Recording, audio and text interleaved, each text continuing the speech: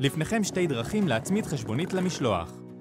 אחת, הצמדה לקרטון או לשליח. תוכלו להדביק או להדק את תעודת המשלוח לקרטון או אפילו לשליח, ובמידה ולא ירד גשם, לא תהיה רוח, ולא יהיו ארגזים נוספים שיתלשו אותה, היא אולי תשרוד עד הלקוח, שיתלוש אותה בסופו של דבר. 2. הכנסה אל פקינג ליסט.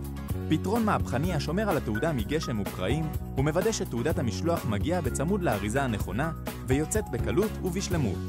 אז איזו דרך אתם מעדיפים?